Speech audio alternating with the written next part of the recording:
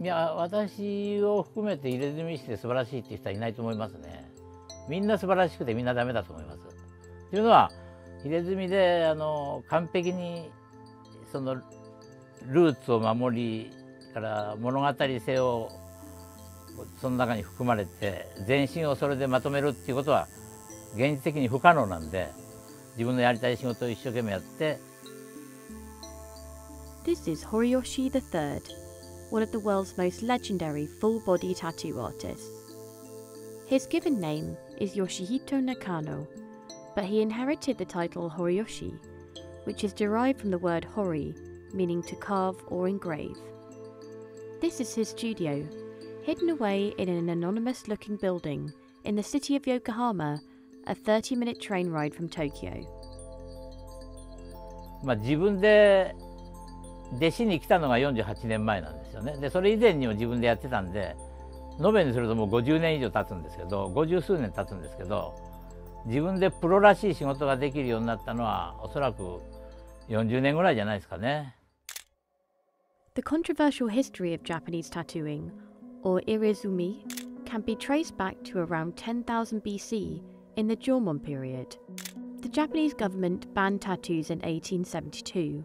As while the practice had risen as an art form, tattooed marks were still being used as a punishment. The ban wasn't lifted until 1948, but the practice has retained its image of criminality. For many years, traditional Japanese tattoos were associated with the Yakuza, Japan's mafia, and some businesses in Japan and public baths still ban tattoo customers. あまああの今のねこの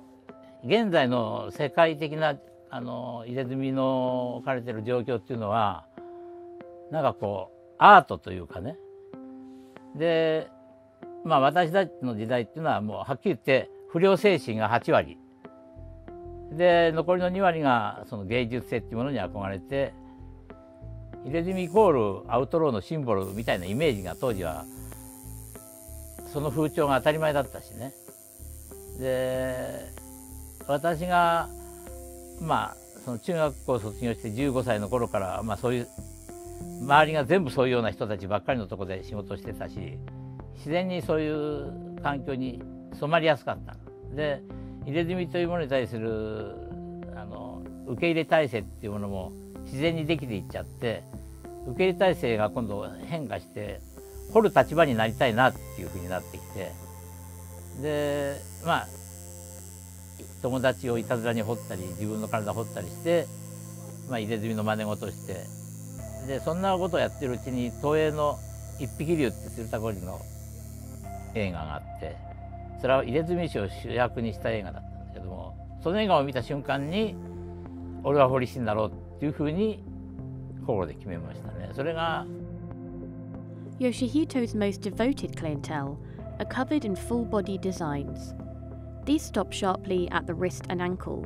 where skin would show when wearing a traditional kimono. There's also the hike, a chest panel to sleeve, nagasode, a full sleeve to the wrist, and shorter sleeves, shichibu and gobu. Dombori Soshimbori is a full body tattoo without the line down the center of the chest. なるべく物語性のあるものを中心にして 今まであの創作したことのない絵を創作していって見る人に説得力を与えるものを彫りたい。それはあの美しいものであり仏様であり怖いものでありグロテスクなものであり全てを含めて。でもグロをグロとして表現するんじゃなくてグロテスクの中に上品さとか美学が欲しいのね。それが粋っていう世界だと思うんだよね。ただ例えば生首を掘った時に気持ち悪く掘ればいいだけじゃなくてその生首という存在そのものは気持ち悪いもんだけどもそれがなんとなく気持ち悪いだけじゃなくてもう一つの何かを感じるように掘れないとダメだっていう。でリアリズムを追求すると本当に写真のように掘ることもできるんですよね。でもそれを果たして入れ墨と言っていいのかタトゥーって言っていいのかボディ、ー、ペインティングの延長線上にあるアートと言っていいのか。2代目っていうのが初代の息子だったんですよ。でそれ彼にやってもらったのはあの金魚で私がデザイン選んだんですけど金魚。まああまりやってる人もいないっていうのとだから金魚はあの日本の入れ墨っては結構シャレを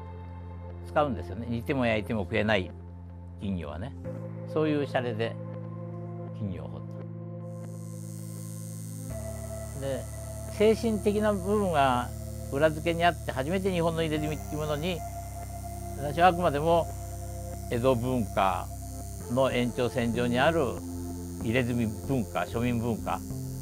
で日本独特の入れ墨様式っていうのがあるんですよ。人体に合わせたあの入れ墨の形っていうのがあるんですよ。それはまああのポリネシアの人たちもそうだし彼らの歴史が長いから人間の体に合わせてきちっと入ってるんでね。Until 30 years ago,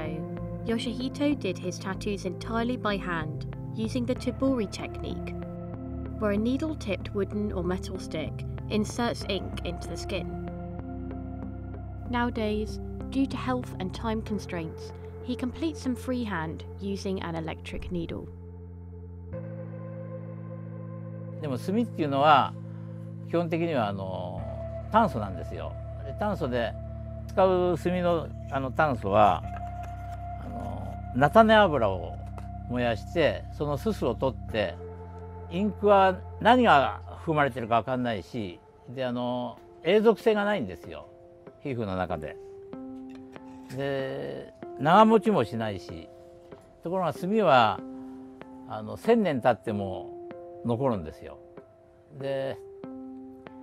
松ヤニ松の木から取る松ヤニから取る松煙木っていうのと菜種から菜種の油から取る菜種油から取るあの炭ってあるんだけどであの中にこれさっき言ったすすをね煮皮で固めるんですよ。で煮皮は要するにまあ有機物だから腐っちゃうんですよ。墨すり3年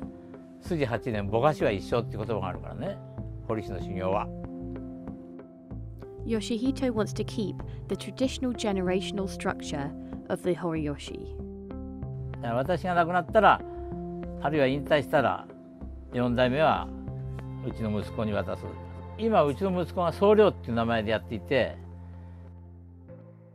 The majority of Yoshihito's clients are now foreign visitors, and he has a large international following on Instagram. A tattoo in Japan costs up to 15,000 yen per hour, or $140, but Yoshihito's designs are more expensive. ああ海外のお客さんはもう異常に増えてますね海外との交流が盛んになってで日本人も向こうに来るようになり外人さんも日本に来るようになってで入れ墨文化っていうものもそういういわば一つの文化交流の中でお互いにいいところを取り合ってだから今若者たちがあの欧米文化を自分たちが取り入れて自国の文化を捨てて日本の文化を輸入してる。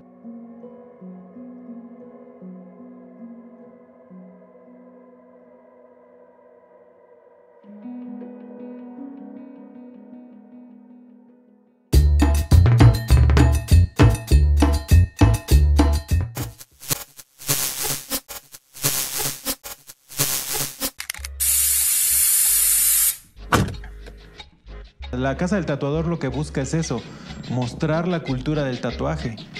de, lo que se genera dentro del tatuaje, ¿no? Está, están las pinturas de los bodysuits, están las, las calaveras, están las máquinas, están los murales, ¿no? Están las piezas. Todo esto que tiene que ver con el, con el tatuaje en sí, ¿no? Es cultura que se genera en el tatuaje. Es a lo que se dedica la casa, a mostrar la cultura que se genera en el tatuaje.